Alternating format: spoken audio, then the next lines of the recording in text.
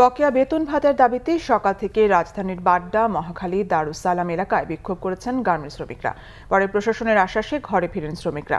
এদিকে বিজিএমইএ এক বিবৃতিতে জানিয়েছে, সদস্যভুক্ত দুই হাজার দুইশো চুয়াত্তরটি পোশাক কারখানার মধ্যে এক হাজার একশো ছিয়াশিটি কারখানার শ্রমিকদের বেতন ভাতা বুঝিয়ে দেওয়া হয়েছে। বাকিদের বেতন পরিশোধের চেষ্টা চলছে বলে জানিয়েছেন বিজিএমইএ সভাপতি রুবানা হক। বকেয়া বেতনের দাবিতে রাজধানীর বাড্ডায় শামসুর রিজিয়া ফ্যাশন লিমিটেড কারখানার শ্রমিকরা রাস্তায় নামে বুধবার সকাল নটার দিকে। শ্রমিকরা বলেন, কারখানা কর্তৃপক্ষ বেতন পরিশোধের আশ্বাস দিল। বেতন পরিশোধ না করায় ক্ষুব্ধ হয়ে রাজপথে নামতে বাধ্য হয়েছেন তারা। আমরা কিছু বলব? কোনো বেতনে কোনো নামই নেই আবার বলে বিশ তারিখে। কেন আমাকে বিশ তারিখে দিব? আমরা কোনো অপরাধ করছি। ঘরে স্যার চাউল নাই খেতে পারতেছি না স্যার। আজকে বিস্কুট খেয়ে স্যার ফ্যাক্টরিতে আসছি। করোনা সংকটের মধ্যে বেতন না পেয়ে পরিবার পরিজন নিয়ে মানবেতর জীবন কাটাতে হচ্ছে বলে জানান তারা। মালিক মালিকের কথাই থাকে মালিক কোনো সময় আমগর কথা হনে না। ঘরে খাবার নাই। আমাদের খাবার চাহিদা করতে হবে কারণ আমরা বাইরে কাজ করতে পারতেছি না। যে আমরা বাইরে কাজ করে আমরা খাব কিন্তু সরকারের লকডাউন ঘোষণা করার পরও প্রায় তিন ঘণ্টা বিক্ষোভের পর বেতন পাওয়ার আশ্বাসে রাস্তা ছেড়ে দেয় শ্রমিকরা। এদিকে একই দাবিতে রাজধানীর মহাখালী দারুসালাম এলাকায় বিক্ষোভ করেছে পোশাক শ্রমিকরা। বিক্ষোভ হয়েছে রাজধানীর বাইরেও কিছু এলাকায়। গাজীপুরে বকেয়া বেতনের দাবিতে কমপক্ষে দশটি পোশাক কারখানার শ্রমিকরা ঢাকা, ময়মনসিংহ মহাসড়কের বিভিন্ন পয়েন্টে অবরোধ করে বিক্ষোভ করেছেন। শ্রমিকদের অভিযোগ, মহামারী করোনা আতঙ্ক নিয়ে কাজ করেও বেতন ভাতা পাচ্ছেন না তারা।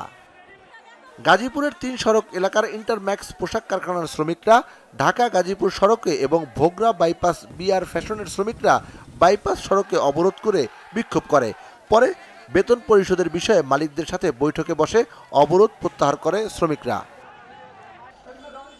বেতনের দাবিতে সাভারের সিরামিক ফ্যাক্টরিতে বিক্ষোভ করেছেন শ্রমিকরা। এ সময় কারখানার সামনে অবস্থান নিয়ে ভাঙচুর করা হয়। শ্রমিকরা জানায়, গেল ফেব্রুয়ারি মার্চ মাসের বেতন বকেয়া রয়েছে।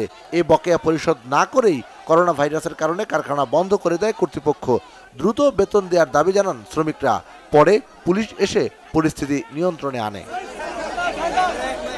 এদিকে গার্মেন্টস কর্মীদের বিক্ষোভ নিয়ে বিজিএমএ সভাপতি রুবানা হক জানান, নানা সমস্যার কারণে ছোট ছোট কিছু কারখানায় বেতন দিতে দেরি হচ্ছে। চব্বিশ লক্ষ বাহাত্তর হাজার শ্রমিকের মধ্যে উনিশ লক্ষ উনিশ হাজার ছয়শো শ্রমিকের বেতন দেওয়া হয়ে গেছে। তা প্রায় শতকরা আটাত্তর ভাগের কাছাকাছি। আমরা আশা করছি আগামীকালের মধ্যে আশি ভাগ হয়ে যাবেন, কিন্তু বাকি যে শ্রমিকেরা থাকবেন তাদেরকে আসলে আমাদের এই মুহূর্তে চেষ্টা করব আমরা বিশ তারিখের মধ্যে শেষ করতে। আমাদের ক্যাশ ডিসবার্সমেন্টে অসুবিধা হচ্ছে, অনেকগুলো ব্রাঞ্চ ট্রাঞ্চে যাওয়াটা অ্যাক্সেসিবিলিটি কমে গেছে। একটু মানে আমাদের সময় লাগতে পারে পাঁচ সাত দিন। এটির জন্য আমরা প্রত্যেকে বলছি যে একটু ধৈর্য ধরতে।